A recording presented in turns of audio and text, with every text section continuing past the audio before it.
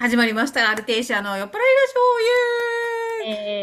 ーイ。えー引き続き、小畑沙織さん、おばちゃんに、えー登場いただきたいと思います。で、えーまあ、横須賀市議会議員ということでですね、実際にこう、議員になってみてどうでしたか？まあ、3期目ですが、もそうですね、もう3期目になって、まあ、最初は本当に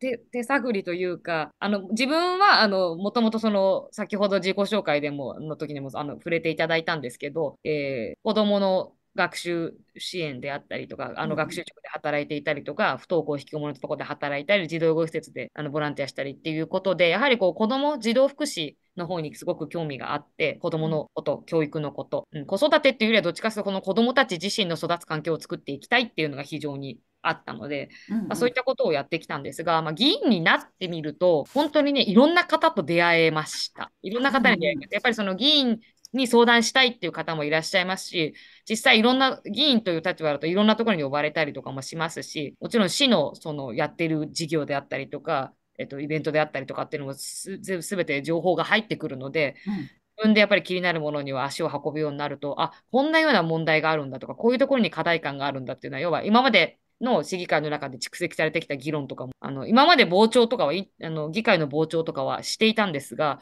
うん。それ以上に、やっぱりその生で直接なんえっと、相談事とかを受ける機会がすごく増えるので、うんその声をもとに活動するっていうことができるようになったなっていうふうに思います。なる前ってどっちかっていうと、もちろん課題感として持ってることとか、身近な方が相談してきてくれたことをもとに、あの、政策を作って、こう、てあの、なんでしょうね、掲げていたんですけれども、議員になってからは、まあ本当に皆さんの、私がやりたいことだけではなくて、あの、皆さんからの相談をもとに、それが、まあどんな風に、まあその、相談をいただいた方の、その方の相談に答えて、その方の悩みを解決するのはもちろんのこと、大事なことなんですけど、ただそれ以上に、やっぱりその方のその問題の中の何が課題となっているのかっていう、そのうん共通する部分っていうのかな、その仕組みとして変えなければいけないこと、制度として整えなきゃいけないことは何かっていうのが、こういろんな方の話を聞いていると共通する悩みであったりとか、この人の問題もこの人の問題もこっちを、これをやればいいんだなみたいなことがこう分かってくるようになると、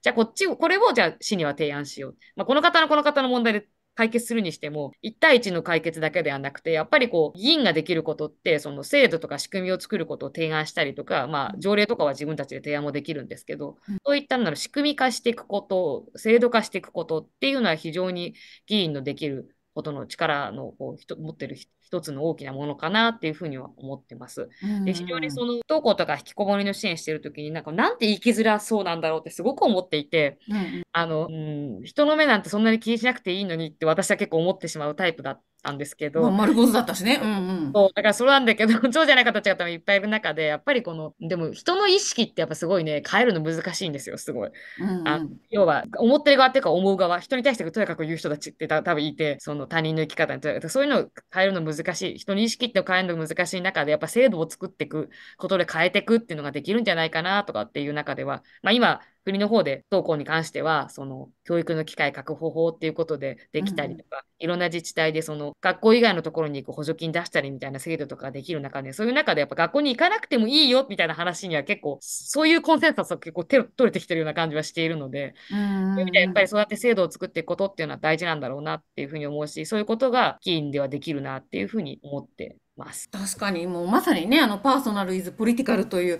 フェミニズムのスローガンですけど個人的なことはあの政治的なことっていうので、まあやっぱり全部そのつながってるやっぱり構造の問題だからそういう構造とか、まあ、仕組み制度を変えていくっていうのが本当にそれが議員にできることだって思うんですけどいや本当そのね不登校引きこもりのその若者支援をしていたとで、まあ、本当にその不登校の子ってまあもともといたんだけどものすごくやっぱり最近よく聞くその友達とかまあいろいろ喋っててもなんかうちも不登校うちも不登校みたいな 本当にそういうのがあるんだけどだから個人的にもそのどうしてまあやっぱり不登校になるのかっていうのはすごくあの、まあ、考えたりとかもしててやっぱりこうなんだろうなその多様性って言いながら全然多様性を認めないようなこの日本の教育のあり方とかまあそれこそ神戸だったらちょっと前までそのパンツは全員白とかさなんかその靴下は黒のみとかさもうみんな同じであるみたいな。それは行きづらいよねってそんなガチガチに管理されてってまあいろいろ思ったりしたんだけど、まあおばちゃんとしてどうですか？その現場でやっててやっぱりそのなぜやっぱり不登校引きこもりになるのかっていうのはどういうふうに感じた？うん、ま、不登校に関しては、まあ、まあ、本当でもいろいろあるっちゃいろいろあるんだけども、うんその中学校になって急に増えるなっていう感じはあって、それってやっぱり結構その管理的なところとかも要因なのかなとかって思ったりしますね。そのやっぱり集団生活をきちんとすることが良しとされる。なんやっぱ言うことを聞く、聞いて、やっぱこの先生の言うことをちゃんと聞いて、ちゃんと集団生活、集団行動をするっていう、なんていうのにやっぱり乗れない、乗るの、やっぱり難しいなっていう子たちもいると思うので、うんあり方、学校のあり方って、それって別にうちの町だけじゃなくて、やっぱりこう学校のあるべき姿みたいなのが、やっぱりちょっとこう硬いんじゃないかなっていうふうにはちょっと思っては。そうね。あとまあ私はその子供もいないしわからない部分もあるけど、ただこう自分が、まあ私47歳で、その、なんだろうな、子供の頃ってもっとなんかほったらかしではあったんだよね。なんかそのほったらかしの弊害もすごくあったと思うんだけど、その、一人一人こう細かく見れないみたいな。まあその代わり割となんか、ほっといてもらえる良さみたいなのもあったような気がするんだけど、まあそのの勉強できない子もいれば、そのね、スポーツできない子もいても、まあなんか別にできるようになるみたいなことをあんまり言わずにほったらかしにされているみたい。それはちょっと感じ、感じるんだよね。今結構なんか一人一人ものすごいなんかタスクとか多くない？みたいな。あ、まあでもそれは確かにそうなのかな。まあ忙しい、うん、一人一人が忙しい、忙しそうだな、今の小学生とか思うこともあるし。そうね、荷物も多いしさ、そうそうですね、確すかに。きっちりしなきゃいけないみたいな。やっぱり人の目、空空気、よく一時期ね、空気読むっていう話、ワードとか結構出ましたけど、やっぱそのクラスの中での立ち位置とか空気読んで、やっぱりやり取りしなきゃいけないとかっていうのは、やっぱこう、しんどいかもねっていうのと、やっぱ今の子たち、今の子たちと私たち世代だと大きく違うのは、やっぱスマホもそうね。やっぱり存在でかいなと思っていて、LINE とか SNS がありますからな。24時間この人間関係継続するわけじゃないですか、その。うんう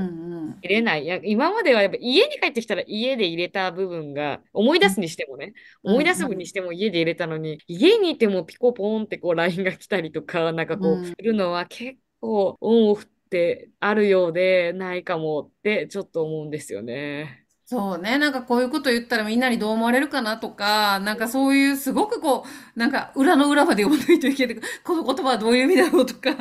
まあそれは本当にだって大人だってストレスなんだから子供も、子供はもっとしんどいよなって思うね。うん。だから私あの、私はあれだよ、その中高時代もあの、スマホどころかガラケーどころかピッチどころか、あの、ポケベルすらなかった青春なので、なるほど。とよかったなと思うよ。うんうんううん。ん、あの時スマホあったら本当なんかちょっとだ、だいぶしんどかったなと思う。待ち合わせですれ違うとか、まあ確かに大変なんだけはいど、そう、不便さはもちろんあるんだけれども、そうね。まあ、あと、まあ私は中学高校私立で、もう本当になんかあののびのびした学校だったから、まあ校則がほほぼないみたいな、まあ私服だったし、だから、こう、なんだろうな、朝の礼拝とかほぼなんかサボってたんだけど、なんかあまり何も言われないし、結構4時間目とかにも私も家が大変だったから、もうあんま学校行く元気もなくってみたいなんで、まあ4時間目に通学とかしても、なんかそれも別になんかほっといてくれたので、もしあれがちゃんと朝に来いとか、その出席日数がとか言われたら多分学校行けなくなってたろうなって思う。うん、それはあるよね。やっぱりこう、うん、ゆるいから行けるみたいなのね。うんうんううんん、と、もっとこう、こう、こんだけやっぱ生きづらい社会なんだから、もうちょっとなんか子供の時からゆるゆるとさ、のんびり、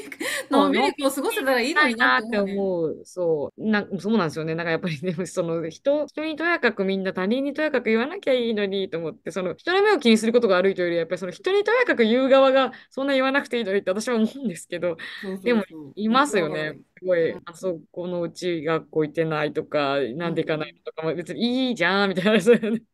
別に悪意はない、あの、悪意がある人も多いじゃないですか、その言い方が。そう、うんうんそううんいうのとかがやっぱりすごく重な、嫌だなってすごく、他人の生き方にそんなみんな口出さないでよって思うんですけど。ねえ、いわゆる世間ってやつだよね。もう本当に、本当に嫌だって私も、はい、思います。そっか。あと、えっと、まあ、議員として取り組んでいること、まあ、そういうね、あの子供のこととかだと思うんですけど、他どうですか？そうね、まあ、児童福祉が興味ももともとあって、もちろん取り組んではいるんですが、福祉全般に結構目を向けるようになったなっていうふうに思っていて、まあ、うん高齢福祉、障害福祉、まあ、生活困窮とかもそうなんですが、やっぱりこう、あの、困ってる、うんマイノリティとか困ってる人にしわ寄せが行きがちなんですよね。なんかこう、ね。単純で苦しかったりとかってしてるなっていうふうに思っていて、うんまあ、そういう人たちが生きやすくならない限り絶対いい世の中にはならないので、うん思っていて、なので、まあ、ちょっとそういった方たちのな当事者の意見聞きながら、そういった障害福祉、高齢福祉、福祉関係はかなりこう自分としてはやっていて、あの今、大学院も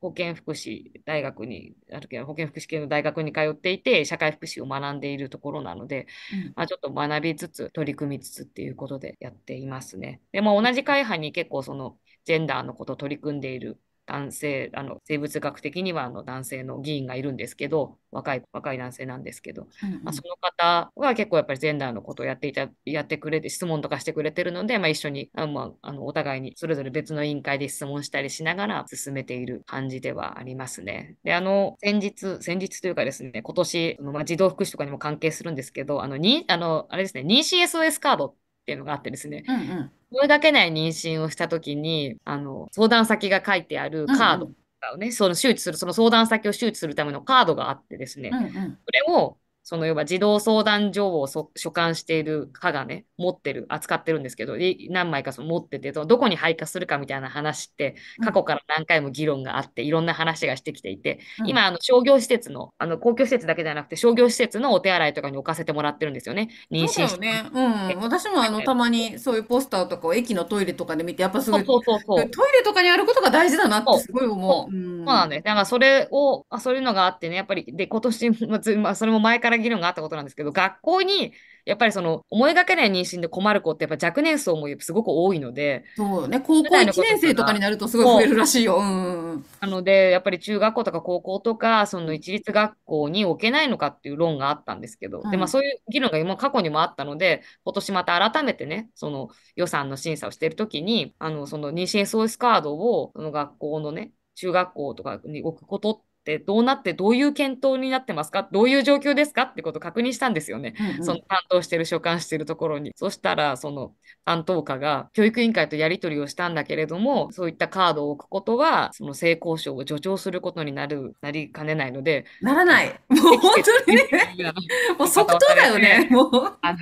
非常にやっぱでもこのね、私、包括的性教育も以前議会で質問させていただいたんですけど、うんやっぱりこう、うん。でそういうことではないって集めて、でなくて、要は、なんか確かに、その、要は包括的性教育とかがきちんとなされていて、その、そもそも妊娠の、えーしてしまうようなことがとても少ないですって、可能性として低いですっていう状況じゃないわけじゃないですか、今。うんその性教育ってやってはいるけれども、いわゆるその、いわゆるその歯止め規定って言われているものがあって、ね、その妊娠の家庭は扱わないってなってそう、家庭は、つまりセックスを教えてはいけないから、トンチみたいなやつね。については、教えられないっていう、そう、トンチみたいなやつがあるんですけど、うんうん。それがあることによって結局、やっぱり結構親御さんたちからもこの間ちょうど聞いた、聞いたんですけど、子供たちが、その分かった、女性が卵、その要は赤ちゃんの元持ってるの分かりました。男性が持ってるの分かりました。それがどうくっつくのか分からないって子供たちが言ってると、保護者たちも言ってて。でもそれをでもうまく教えられないって、やっぱ大人も言っていて、保護者。やっぱそういうのを聞いてると、やっぱ学校とかでもそれ教えられてないわけだから知らないですよね。まあそういう中で、その思いがけない妊娠っていうのは、予期せぬ妊娠っていうのは絶対起こりうるし、起こり得てるわけですよ。と統計見る限り、10代の妊娠があるので。そういう意味では、その相談先のカードをそこに置く、せ子供たちが、要は困るかもしれない子たちが、そういう相談窓口があるんだよって知ることとか、だけとなるわけじゃないですか、そのカードがあることで。うんうんでもしもの時はそのカードから電話をするかもしれないし、しないかもしれないけど、それは別にその子のチョイスなんだけど、うんだけどそのカードを置くことが成功をこう助長するっていうその論は、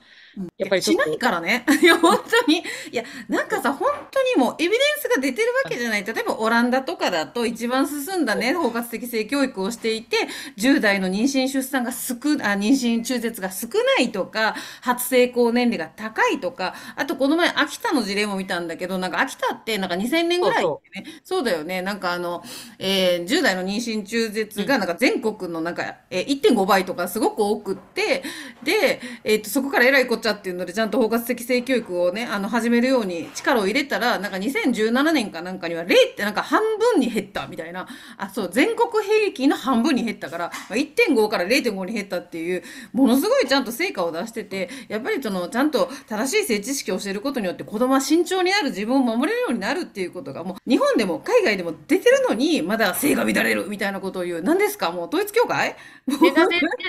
で、それが3月だったんですけど、で、まあ、先日のこの、また議会があった中で、委員会の中で、うん。またその一緒に、あの、一緒にというか、そのジェンダーのことについてすごい一生懸命やってる、あの、同じ会派の議員の方が所属してる委員会が、その、教育委員会の所管だったので、今度は教育委員会側に質問したんですよ。うんうん。同じ質問を。うんその SOS カード、その要は今年頭にね、そういう質問をしたんだけど、その置かないとかっていう話になってるってことだったけど、その後、検討状況はどうですかって置く、配下することについてって言ったら、なんとですね、あの、検討した結果、あの中学あ中学校の方に配下する、妊娠 SOS カードを配下するようにしていきたいと思いますっていうことで、ちょっと前向きに進んだとおよかったなよかったいやもうさすがですぱりけ、なんかやっぱり言い続けることには意味あるなと思ってますし、あの、今、学校のトイレに、あの、生理用品を置くようになったりとかしたので、そういう意味で、なんかこう、そう、そういう動きもあって、やっぱりちょっとずつ、まあ生理用品は別に私置くの全然何がハードルがだったんだろうっては思ってるんだけども、それでもちょっと置くまでにちょっとあったんですけど、まあ、でもまあ今、ちゃんと受けてるし、うんうん。あの、まあまあ、で、カードも置いてくれるということなので、必要な方に必要な情報が届くといいなと思いますし、まあそもそも、まあ、包括性教育が、性教育がしっかりできるようになるといいなっていうふうには思ってます。いや本当にね。そう、っていうようなことに取り組んできました。おお、いや、それはでも本当すごい。うん、あの、本当にそれで救われる人がいるよねって思うから、もう必要に決まってるやんって、なんかもう何でもそうじゃない？例えばこう、あの、アフターピールにしてもさ、悪用がとかさ、もう本当そんなことばっかり言ってさ、今そう困ってる人がいるんだよっていうね。非常になんかね、あの、うん、あの、そ、そこの、そこの論はよくわからないなと思いいや、ながら。まあよくわからないっていうか、やっぱ過不調性なんだと思うよ。女子供に生殖の決定権を与えたくないみたいな。そう、だからもう本当なんかこう女子供は黙って従えっていうもう、この国を覆っている過不調性ですな。あの、ジェンダー不平等が結局、まあ、待機児童の問題もそうだと思いますし、あの、うんうちは結構、うちの町だとやっぱ学童保育、放課後の子供、小学生の放課後の子供の居場所とかがやっぱ課題となっていて、うん。あんまりこう、いい、うん、学童がやっぱりこう、結構、うん、エリアによって、みんな民設で民間の人たちがやってるところがほとんどなので、結構やっぱりいろんな課題があって、うんでもそれも、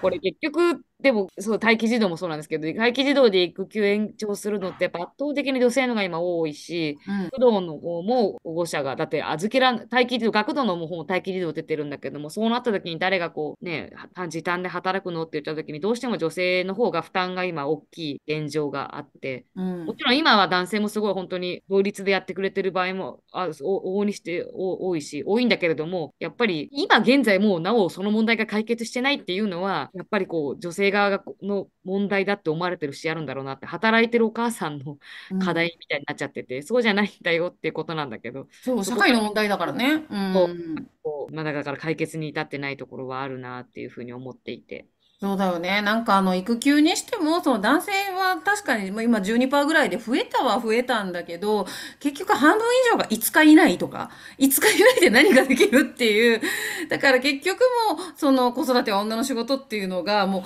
う、もう厳然としてあるわけなんだから、そうなのよね。もう、だからす、すべてがそうだよね。その結局、だからまあ女性は管理職になれないとか、そ賃金格差が開いてで、あの、老後の貧困に陥ったりとかね。うーん。ねえ、ほんと、すべてのおかげ、なんか、あの、おばちゃん声聞こえなくなったけど。あ、大丈夫。はい、はい。大丈夫。うん。もう本当すべての鍵はジェンダー平等にありますよということでですね、あの、横須賀といえばあの、ミトコンドリアがありましたけど。ありました。そう、ありましたんですが、一応あの発言は取り消したことにはなってるので、そう、あの、まあちょっといろいろね、あの市長が失言をしたことがあって、かなりあの反対運動とか署名運動とかが起きて、うん、いろいろ問題にはなったんですけど、そう、一応なんかまあ、あれを聞いた時には気は確かかと思ったんだけど。自体はもう一応削除ということになりまして、あの、そう、発言が、まあそうそう、残ってはいないんですけど、まあ、ちょっと、まあ、ちょっと、まあ、ざっくり話すと、まあ、やっぱりその、えっと、あれも、そう、その、うちの会派のそのジェンダーの取り組んでる方の、あの、発言からだったんですけれども、質問に対して、あの、なんだっけ、えー女性は DNA にみてミトコンドリアに、あの、なんだっけ、恨みが、うんぬどういう、女性のうん。女性の DNA ミトコンドリアの中に女性が虐げられてきた歴史があって、で、その怨念無念さが今の社会を構成している。その反動形成で男女共同参画の話が出ていて、女性が虐げられた歴史やその念みたいなものを浄化させないといけないって言ったような発言とかがあえ、もうちょっとオタクの主張大丈夫？で、まあでもちょっとこれは、だからちょっと、えっ、と、じ、自分の発言については一応この謝罪と取り消しを求めて、一応、あの、取り消しますってことになったんですけどね。そう。やっぱりこの、そう、非常に、そうなんですよ。ね。これ非常に科学的根拠も何も何も何もないですし、そうで、女性が男女共同参画がね、その女性が女性がっていう話ではないんだけど、そういうような発言もされていて、うんうん。男女共同参画を女性が女性がって話って言ってまとめられちゃうと、そういうことじゃないんだよそういうことってじゃないんだよっていう、社会全体の話をしてるんだよっていうね。で、やっぱ、でもやっぱすごいね、ここ、本当に理解するっていうのが難しいんだなっていうのをすごい思いましたし、やっぱりその市長って立場としては、そのもちろん選挙で選ばれてるものの行政のトップですよね。行政職員のトップっていう立場で、うんうんそういうふうな考え方でいられるとある、やっぱ厳しいなっていうのがあって、市の幹部、市長にも、市市の幹部にもしっかり考えていただきたいし、でも私たちとしてはだからやっぱりしっかり研修とかもやってねっていう、やっぱりその、アンコンシャスバイアスって言われる無意識の偏見とか、好意的性差別の存在っていうのをきちんとやっぱ理解していただかないと、別に悪気はなかったけど言ってることとかやってることとかが、あの、誰かをやっぱ傷つけるような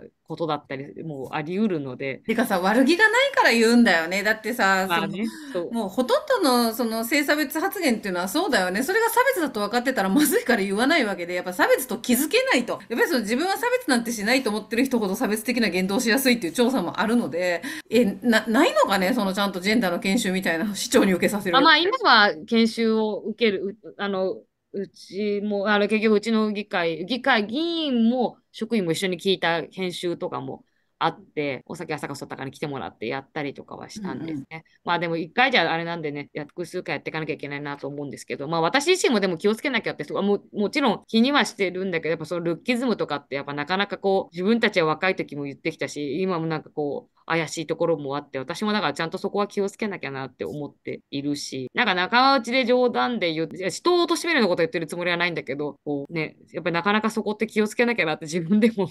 思うので、うんうんうん。もう本当、あの、彼も戒めか顔ちっさとか思わず感動して言っちゃったりとかするって。あそうだからそうそうすごいなんかやっぱすごい、わあ、美しいみたいな人とかいるじゃないですか。なんかついつい、うんうんうんわあ、なんかすごい、ついつい可愛いって言いたくなるんだけど、なんかあんまこう言っても見た目だなと思って、なんか、あ洋服可愛いねとか言って。そうそうそうそうそう。そうなんだよ。やっぱ褒める方は言っちゃうからね。なので、あの、マーベラスとか言ったらいいよ。そう、だか美人とかイケメンとかじゃなくて、マーベラスとか、ファビュラスとか、うん、まあクールとかなんかそういう、なんかちょっと英語でごまかすみたいな。まあでもそうやって、こう、その、し社会としてやっぱルッキズムをなくしていこうって、こう見た目を評価するっていうのをなくしていこうっていうのが大事だもんね。うーん。なるほど。はい。そんなまあ、ミトコンドリアなんかもありつつですね。あの、こうやって横須賀でおばちゃんが頑張ってくれているわけです。で、あの、まあ、皆さんですね、まあ、あの、ぜひおばちゃんを応援してくれたらなと思うんですが、じゃあ最後になんか告知したいこととかありますか？告知、告知としては今 特にはないんですが、あのぜひぜひあの皆さんね、自分の身近な地域での自分たちの住んでいるところでどんな議員がいるのかな、どんな議論がなされているのかなって結構今はもうインターネット中継とかその録画で見れたりもするので、あの、ぜひぜひチェックしていただければなと思います。やっぱり、あの、なんか、やっぱりね、いろんな議会があって、その違いを見るのもね、まあ面白いっちゃ面白いので、いろんなとこ気になる人が、気になる議員とかがいたらチェックしてもらえればいいなと思います。はい、ぜひ、あの、私もこの前、あの、パートナーシップ制度のことで、その松本さんが 質問するので、あの、傍聴に行ったんですけど、やっぱ傍聴とか行くとね、面白いよね。そう、そうなんです。だからすごいやりとりが、すだからすごい勉強してきてるなとかっていう方とか、すごいなんかこう、うん、いや切り返しうまいなとか、なんかやっぱそういう人たちのやつ聞いてるとすごい面白いので、そうそう、もう、もうこの副市長、ほんとすっごいバカみたいな答弁するなとか、そういうのをね、あの、み、身近に見れるっていうのはいいなと思いますね。で、なんか私がその時に、あの、傍聴席にいたらめっちゃ警備員の人が私のことずっと見てんねん。だから絶対何かしでかすと思われててんけど、いやもう何もしないからみたいな。意義ありとか立ち上がったりしないからとか思って。割、割と、あの、厳しいのは厳しいよね。なんていうの？こう、か、歓声とかやつとか飛ばしちゃいけないことにはなってるよね。あ、そう、あの、うん、賛同を示しちゃいけないみたいなのありましたよね。なんか確か。あ、だから、あの、まあ、多分それも傍聴規則も各、あの、自治体で定めてるとは思うんですけど、各議会で定めてるとは思うんですけど、拍手もダメだし、なんかそう、賛、賛、賛同と、なんかそう、なんかそう、賛否を示しちゃいけないみたいな、ちょっとなんかそんなようなもんだったかな。そう、なんかあの、うちわも持ってっちゃダメとか。あ、そうそうそうそう。応援とか、そうそう、そういうそうのダメだ。そうそう、バンしてみたいな、ああいうのもダメだし。でも、なんかおかしいなと思って、だってさ、その議員同士ではヤジとか飛ばしてんのにさ、なんで、その傍聴席がなんか、よ、なりこばやみたいなこと言ったらあかんねんみたいな。なんかそういうのは、あの、まあおかしな、こう、ルールだなと思いつつも、でもまあすごく面白いので、あの、まあ、ただだし、行ってみるっていうのはいいかもしれないなって、すごく思いました。はい。じゃあ皆さん、あの、横須賀の方いらっしゃったら、ぜひ、あの、ちょっとおばちゃんに会いに行っていただけたらなと思います。はい。今日は、あの、楽しいトークをありがとうございました。ありがとうございました。はい。あじゃあ、また、あの、出演いただけました。嬉しいです。でりがとうございます。は、はい。さようなら。さようなら。